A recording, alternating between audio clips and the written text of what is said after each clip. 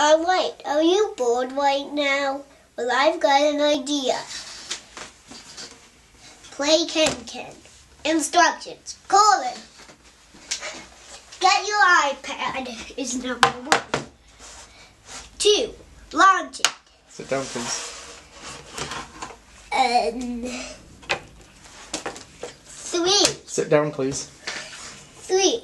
Let's put the icon puzzle without making any mistakes. Like something.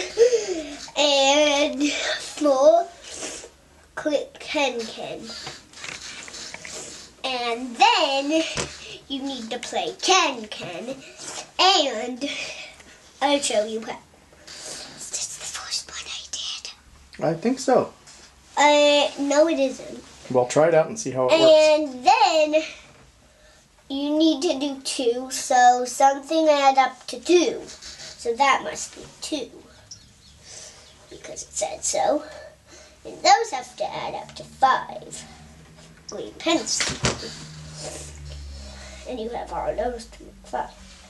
One or three. One or three one or three. Alright, now that I've done that, ha! Why'd you put one or three in the middle square? Why'd you put one or three right there?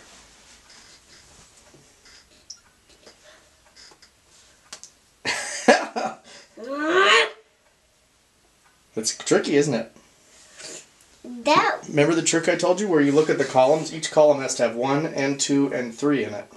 There you go. so that one will be the one. Up race back to the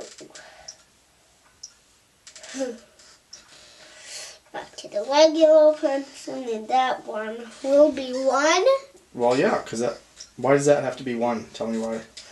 because so that had so that has to be the three. That's right. Three. So that's the one for that column. That's right. So we've done the first one, it's solved. To take away. So what? I can't remember that one. So what?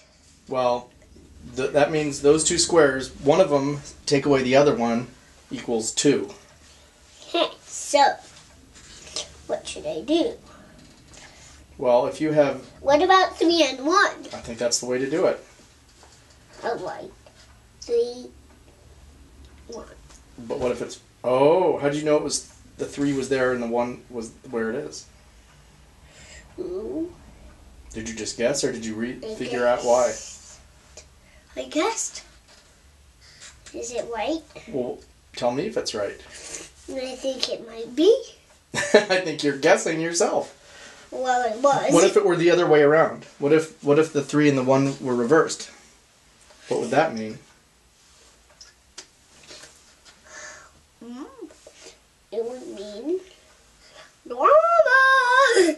Put in a one there and see what and tell me what it looks like. Do you see anything wrong with that? yeah. So it was right. Yeah, you were right. You guessed right. Three. That's why you use little pencil marks. Richard doesn't know he's that tells me that that one will be the two. That's right. And green pencil. or oh two oh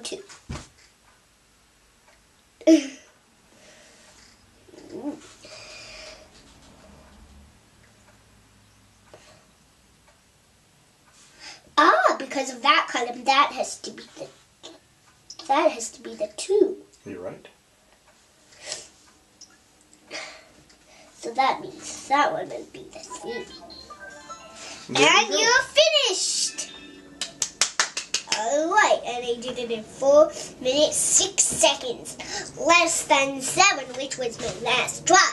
Good So, job. That